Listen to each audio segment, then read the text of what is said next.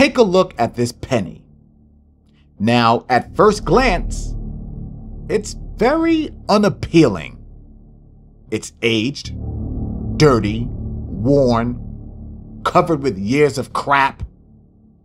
They say the penny has no worth, no value.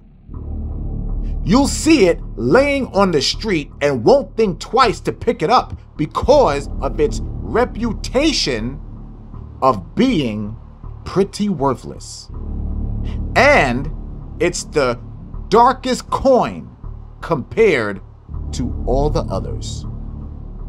This coin represents the Israelites. We are a dark people. At first glance, we are very unappealing.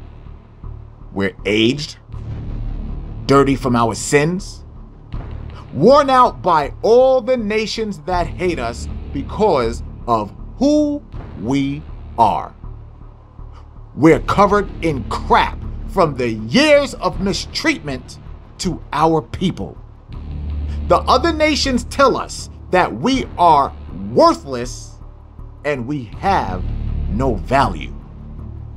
When we see our own people lying on the streets, we won't think twice to stretch out our hand and pick each other up because of our reputation of being pretty worthless.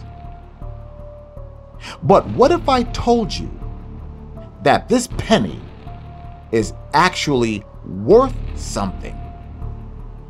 What if I quoted Proverbs chapter 27, verse 17? Iron sharpeneth iron, so a man sharpeneth the countenance of his friend. This is a carbon steel rotary brush. Its purpose is to remove rust and oxidation from other metals such as this penny. This brush represents the abrasive nature of the Bible in the right hands of a person that is not afraid to tell the truth of it. Let's see what happens when you rub two metals together.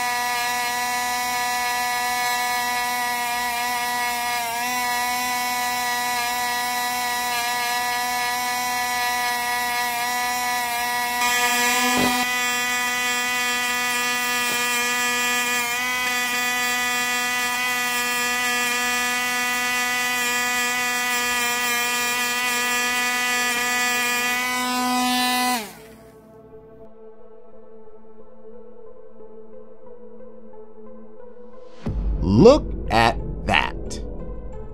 Restored back to its original brilliance. When the scriptures are in the right hands, what comes out may seem very harsh, very abrasive, but it's for your restoration.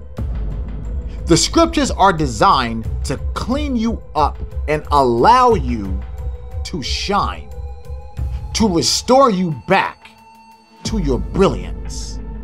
Now, on the flip side, this is a nylon rotary brush. It looks similar to the carbon steel brush. It's designed to clean and restore.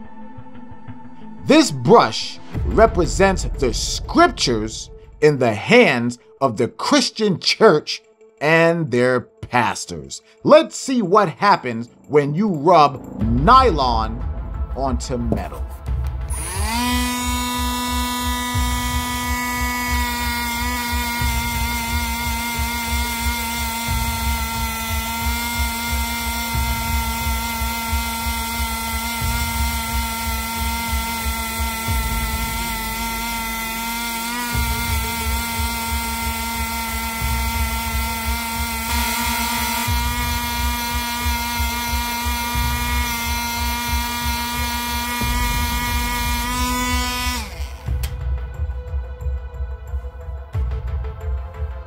Do you see that? Not a damn thing changed. It remains in the same dirty, filthy, worthless condition because the scriptures are in the wrong hands.